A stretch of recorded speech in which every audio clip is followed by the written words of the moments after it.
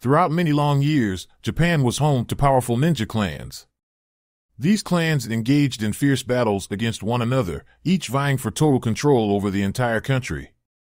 These battles were characterized by extreme violence and resulted in a significant amount of loss of lives. The sheer negativity and hostility emanating from these acts of brutality grew so potent that it attracted malevolent beings from the depths of hell itself. These wicked creatures invaded Japan and took hold of its people, sowing chaos and despair wherever they went. Recognizing the immense danger posed by these demonic forces, the shinobi clans made a pivotal decision. They chose to set aside their internal conflicts and join forces in a collective effort to safeguard humanity. It was during this crucial moment that a divine being from the celestial realm made a remarkable appearance before the shinobi. This deity divulged to them the existence of an ancient trial, a test that, if successfully completed, would grant them extraordinary abilities capable of banishing the demons back to the infernal realm they came from. Knowing that the demons would remain a threat in the future, the surviving shinobis realized how urgent the situation was. They joined forces and created a new group called the Crimson Star Empire, led by their respected leader, the Crimson Head. With the help of a divine being, the empire was separated from the regular passage of time and entrusted with the crucial task of protecting the first flame. The first flame contained a sacred and immensely powerful energy. This energy had the ability to break the seal that held captive the fearsome demon god known as the Fallen. It was believed that by safeguarding this holy flame, the Crimson Star Empire could prevent the Fallen from being released upon the world once again. Even in the present day, there are whispers and rumors that the ongoing conflict between the opposing forces, the ninja and the demons, continues to unfold in secret, concealed from the knowledge of ordinary people. In this present time, on a peaceful and quiet night, there is a man walking steadily towards an enormous building. He carries a bag that leaves a disturbing trail of blood behind him as he moves. With a clear intention, the man lowers himself to the ground in front of someone he considers his superior, whom he respectfully calls his lord. He informs the Lord that he has successfully completed the task assigned to him. Curious and interested, the Lord asks about the fate of the person involved in the task. In response, the man opens the bag, revealing severed arms and confidently states that the injuries inflicted on the target are severe, implying that their survival chances are slim. Upon hearing this, the Lord decides to direct a group known as the Cells to find the target and ensure his demise. The man is confused and curious about the cells and what they do. The Lord, who knows how important it is to keep things secret, explains that the cells are on a super secret mission that no one, not even the clan leaders, should know about. The man thinks about it some more and wonders if he can ask a different question instead. He wants to know why the Lord specifically chose him to confront someone who is stronger and someone who even trained him. The Lord answers by saying that the person they're going after has become obsessed with power and has abandoned his own family and everything he promised to protect in his quest to become the leader of the clan. The Lord recognizes that Yasuke is capable of protecting the weak and overcoming all sorts of challenges and obstacles. Yasuke is shocked and can't find any words to say in response to this revelation. Going into more detail about the situation, the Lord elaborates on the beliefs and actions of Yasuke's master, who was known as Night Hand. Night Hand held the belief that by using his sword to consume the souls of demons, he could gain more power and strength. However, Night Hand was unaware of the harmful effects associated with this practice, as it would eventually consume both the wielder of the blade and their soul with negative energy. Despite the inherent danger, Yasuke managed to overcome Night Hand and emerge victorious. Recognizing Yasuke's remarkable achievement, the Lord announces that he will now be granted the esteemed title of Clan Head 2, a position of great honor and responsibility. To ensure a smooth transition, the Lord instructs Yasuke to visit his wife and tend to personal matters. Additionally, the Lord arranges a meeting with the cells with the intention of resolving and concluding the ongoing situation. Yasuke, filled with happiness and anticipation of reuniting with his family, moves joyfully through the forest. Eventually, he reaches a temple where guards inform him that his wife is inside. Suddenly, he hears his wife's agonized scream. Aniko, Yasuke's pregnant wife, is in the midst of labor pains. Yasuke rushes to check on her, but she seems more concerned about the bloodstains on his uniform. Yasuke assures her that the blood is not his own and tries to reassure her that everything is fine. However, Aniko screams in pain once again. At that moment, a man sitting nearby initiates a sealing ritual, causing the atmosphere in the room to shift dramatically. Yasuke's attention is diverted when he hears a commotion outside, with someone named Mugo being told to stop what he is doing. Loud banging sounds resonate from the other side of the thick door, signaling that something is amiss. Suddenly, a man named Mugo enters the room and informs them that the temple has been breached. Yasuke asks for an explanation, but Mugo's behavior and appearance start to change as he claims not to be late.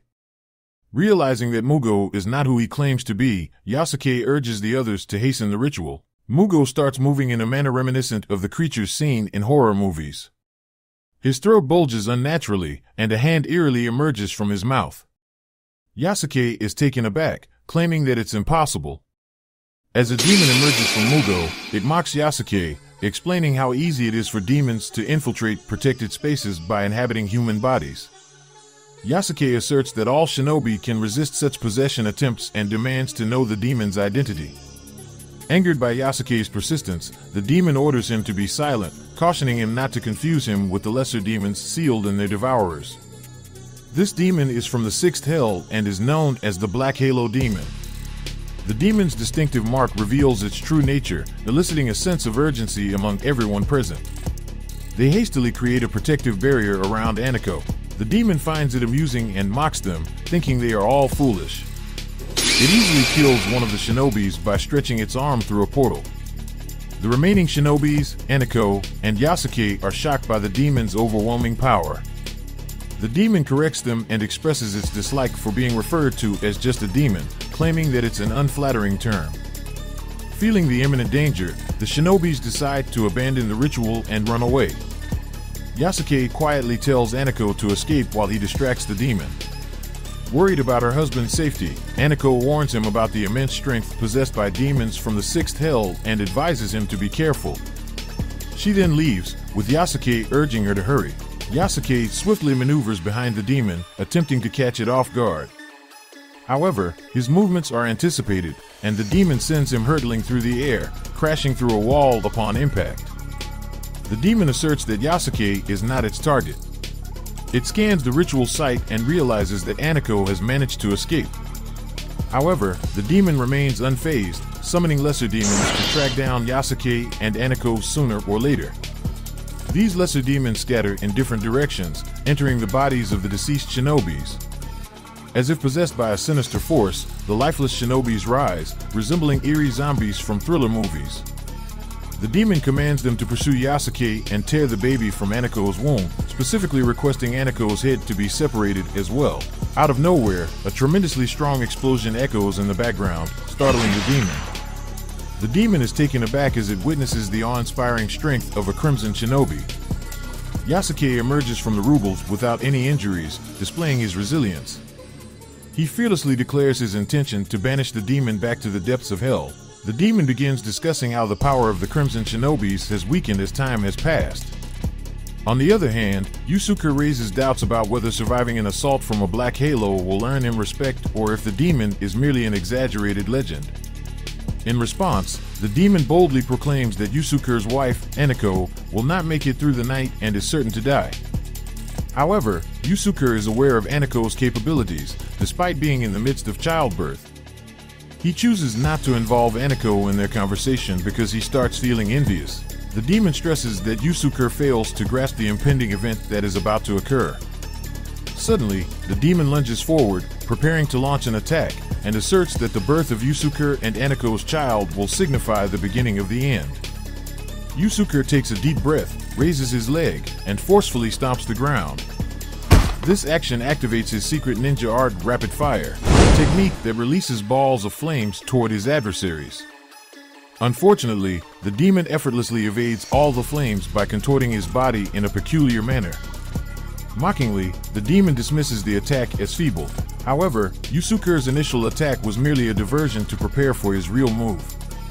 He attempts to strike the demon with a flaming fist, but suddenly notices something and swiftly flips his body midair to avoid the demon's unexpected counterattack. The force of the demon's strike is so powerful that it creates a gaping hole in the temple ceiling. Acknowledging Yusuke's speed, the demon compliments his agility. Yusuke quickly replies with a mean comment, saying that the demon is not good looking. Feeling that there's something wrong, Yusuke immediately avoids the demon's attack by going through a portal. However, the demon doesn't stop and keeps trying to harm Yusuke.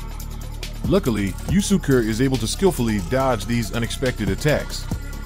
To create more space between himself and the demon's arm, Yusuke jumps towards a wall that is close by. Unexpectedly, the demon experiences pain and withdraws his arm from the portal. He wonders how Yusuke managed to counterattack while successfully dodging his assaults. Gasping for breath, Yusuke activates another secret ninja art, Lightning Viper. This attack enhances the user's speed and envelopes them in electricity. Yusuke strikes the demon's chest with tremendous force, propelling him forward. The impact is so intense that it shatters the temple's pillars and pins the demon against the wall. As the dust settles, the demon remains motionless on the wall, Yusuke removes his hands from the demon's body and proudly asserts that no one has ever dodged his lightning viper attack. The demon questions the validity of Yusuke's claim. To Yusuke's astonishment, he discovers a shinobi on the wall instead of the demon. Whispering from behind, the demon ponders if this is how shinobis treat their fallen comrades. Enraged, Yusuke turns to face the demon but gets struck, causing his body to bend as he crashes into a nearby wall. With a farewell, the demon charges up his finishing attack. While leaping through the trees, Aniko hears a loud explosion and worries about Yusuke's well-being. At that moment, she spots a group of individuals pursuing her. These individuals are fallen shinobis who have been possessed and ordered to chase after Aniko. Thinking quickly, Aniko employs her secret ninja art to manipulate a nearby tree. As the demons pass by the tree, she activates Cursed Earth, causing sharp wooden spikes to protrude from the tree, which eliminates some of the demons in pursuit. However, Aniko realizes that there are still numerous adversaries after her. More agile demons, skilled in the ways of the shinobi, emerge from the treetops. Despite the chaos, Aniko's abdomen tightens, and she requests her unborn child to remain calm for the time being. Suddenly, explosions erupt behind Aniko, surprising her as she realizes that the demons possess the ability to employ secret ninja arts as well. It dawns on her that these demons are known as Crimson Shinobis, leaving her wondering what has transpired to cause their transformation. One of the demons launches an attack, aiming a knee kick at Aniko, but she skillfully blocks it. In retaliation, she strikes back, delivering a powerful punch that sends the demon hurtling through the air. As Aniko kneels down, she feels her baby kicking and implores the little one to endure the current situation. Suddenly, Aniko senses the presence behind her. Before she can react, a colossal attack detonates in front of her, propelling Aniko toward the edge of a cliff. Desperately, she manages to grab onto the cliff's edge and cling on for dear life. The demon-possessed shinobis appear, gazing down menacingly at Aniko. Overwhelmed with regret, she apologizes to her husband Yusuke. However, her despair is short-lived as a man, rushing to her rescue, activates a secret ninja art known as Phoenix Purge, obliterating the demon-possessed shinobis.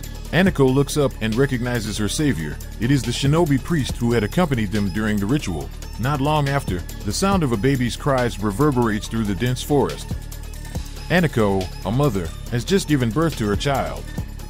Unfortunately, the priest is disheartened because he arrived too late to perform the sealing ritual. As a result, he believes that the only option left is to kill the baby in order to prevent the release of the fallen. Aniko gazes at her newborn with sorrow and argues that he is just an innocent infant.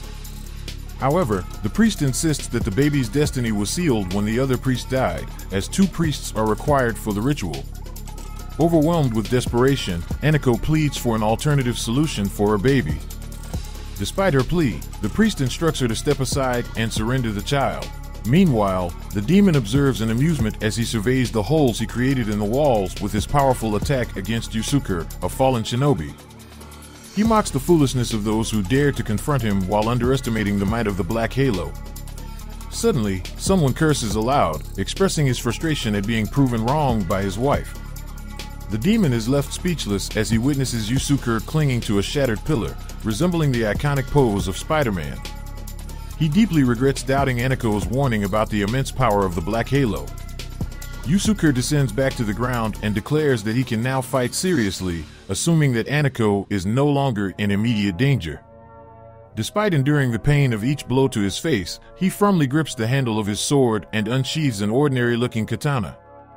With determination, he proclaims that he will bring an end to the battle.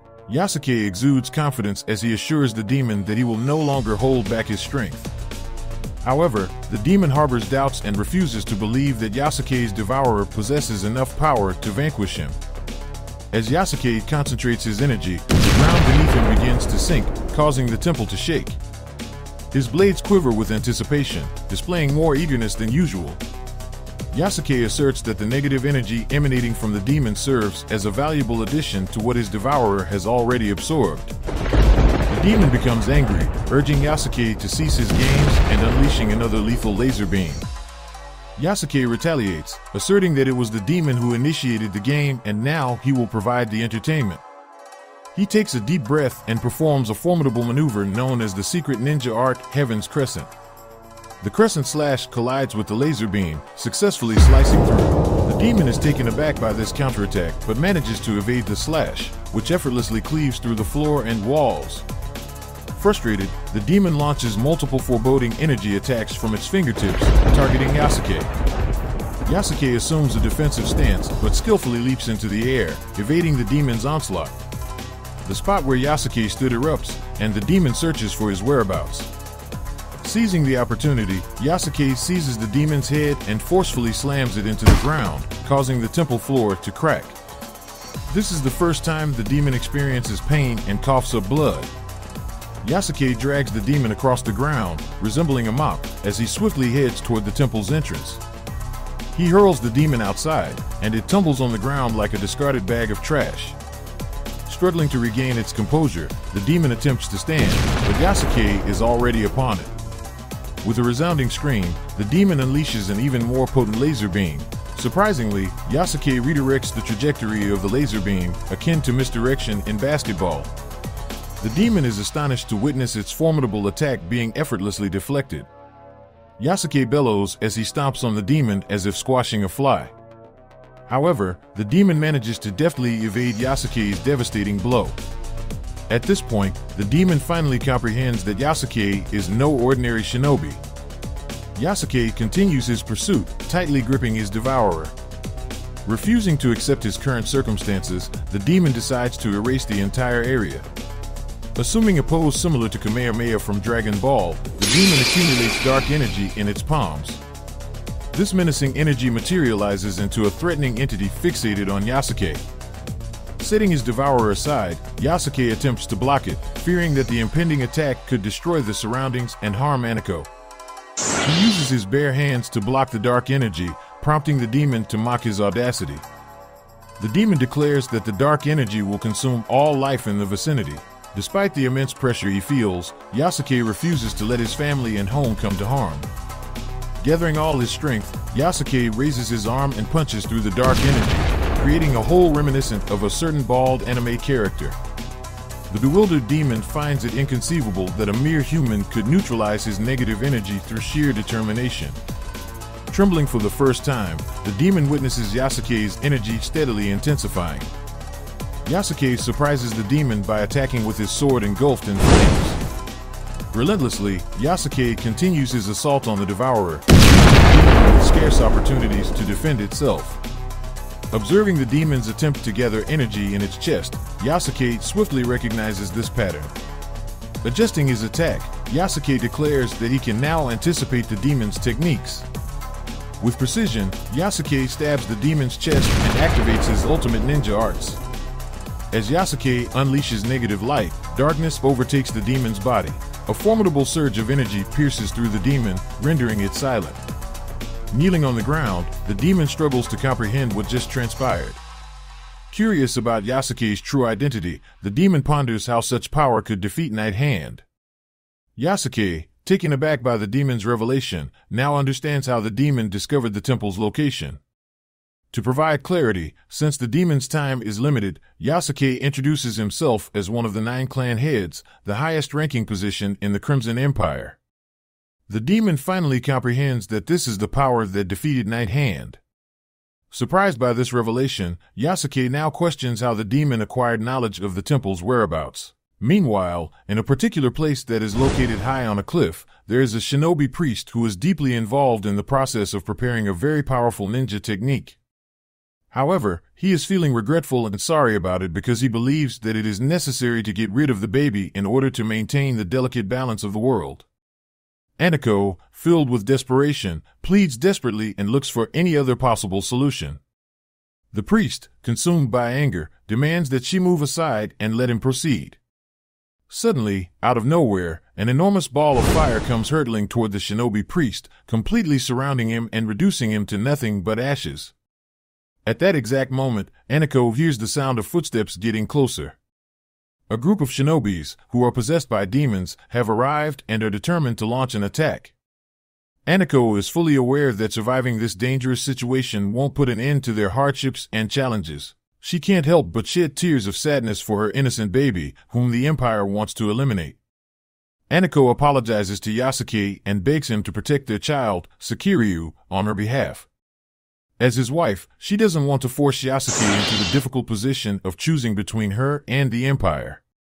With great determination, Aniko wields her powerful weapon called the Devourer, which is capable of inspiring fear and agitation among the demon-possessed shinobis. She sincerely expresses her heartfelt desire for Yasuke to use his full strength in order to safeguard the world. Aniko, firm in her resolve, confronts the demons and declares that she is ready to do whatever it takes to ensure the safety of her family. Suddenly, a massive explosion occurs at the top of the cliff, causing chaos and turmoil to envelop the entire area. The explosion occurred with an incredibly loud noise, and its power was so great that it could be seen from a very long distance away. Yasuke noticed the explosion and immediately thought that Aniko was responsible for it. Right at that moment, the demon he was engaged in combat with took advantage of Yasuke's distraction caused by the explosion and launched an attack, slashing his face. This resulted in blood flowing from Yasuke's left eye. In his attempt to retaliate, Yasuke tried to strike the demon, but the demon swiftly evaded his counterattack, skillfully avoiding it. Yasuke found himself unable to do anything but glare angrily at the demon, who was in the process of opening a portal. The demon fearlessly declared that this attack was just the beginning of the suffering it planned to inflict upon Yasuke's life, bidding him a malicious farewell. Additionally, the demon insinuated that it too had experienced the loss on that fateful night, implying that it wasn't the only one affected. The magical portal closed abruptly and disappeared completely as if it had never been there in the first place. Yasuke's thoughts were flooded with Aniko, and he mustered up the inner strength to move toward her. The weather suddenly underwent a dramatic change. Thunder roared loudly and rain came pouring down. In the midst of this eerie atmosphere, Yasuke stumbled upon a lifeless body. Strangely enough, there was a hair clip lying near the body that looked oddly familiar to him. He stared at the charred corpse, its head severed from its body, and his face became expressionless, devoid of any emotion. The overwhelming sorrow he felt made him hesitate to touch the lifeless figure, his hands shaking uncontrollably. Unable to contain his emotions any longer, Yasuke cried out his wife's name. His voice pierced through the air, blending with the sound of the pouring rain, as he clenched his teeth and unleashed a scream of indescribable anguish. In the meantime, we find ourselves at the headquarters of the Crimson Star Empire. Inside this place, there is a woman named Mizuki who is having a conversation with a young boy named Sakiryu. Mizuki kindly requests Sakiryu to go to sleep and rest. However, the curious and concerned Sakiryu, being young and innocent, wonders about his mother's whereabouts and if she is doing well. In response, Mizuki provides reassurance to Sakiryu, assuring him that his mother is perfectly fine and safe. She even makes a promise to Sakiryu, saying that he will get to meet his little brother the following day. Filled with trust and excitement, Sakiryu wholeheartedly believes Mizuki's words and eagerly anticipates the arrival of the next day. Fast forward to 13 years later, we find ourselves in a lively and busy city. Amidst the hustle and bustle, there is a young man who wears a bright smile on his face as he nimbly moves across the rooftops of buildings. Despite his cheerful disposition, the young man starts uttering words of frustration, realizing that he might not reach his destination on time. I asked this young man the son of Yasuke and Aniko? The prologue is done. Let us know if you want to watch the next part by commenting below. See you next time.